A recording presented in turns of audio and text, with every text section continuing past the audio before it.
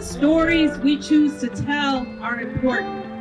It tells a story, it tells what's important to our community. It fills me with great pride to see so many different people from different walks of life here to celebrate our story past here in Bronzeville. We are here at the third annual CRR 19 bike tour. The bike tour is a commemoration, it's a historical opportunity to learn about the history of Bronzeville. The truth is, is that as important as 1919 was for the shape of the city, it is one of the main reasons that the city is as deeply segregated by neighborhood as it still is today.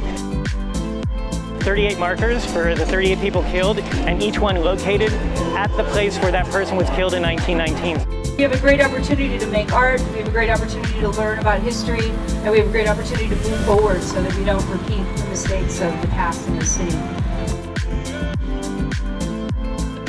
You know, in this moment of time, we're particularly focused on our history as African Americans, as Chicagoans, as Americans, and honoring those who lost their lives 100 years ago in these brutal attacks on the African American communities is appropriate. And I'm grateful to the folks who are sharing this history with the broader community. With Organic Oneness, we promote the interconnectedness of all people and the earth. And the reason that this event is really important is because we're doing exactly that. We're showing what does violence bring and what does peace bring. And we need to learn the harmful effects of violence so that we don't repeat that. Because when we're hurting other people, we're hurting ourselves. And when we're all hurting, we can't advance as society. We're all about not only riding for enjoyment, but we also want to promote safety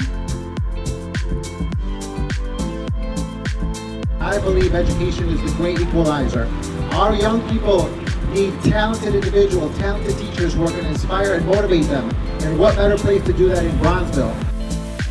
It's also understanding that we need education equity. One of the reasons why we're standing here today is because of strong partnerships with our schools in Bronzeville. I want to welcome y'all to the greatest community in the world, Bronzeville. Come on here. It gives us the roadmap to fight for economic equity in all 77 communities of Chicago.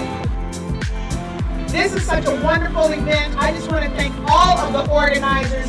It was a great ride today. I'm just so glad it's happening. I'm so glad to see all the people that came out. We appreciate the love and support. And Chicago is strong. Bronzeville is resilient.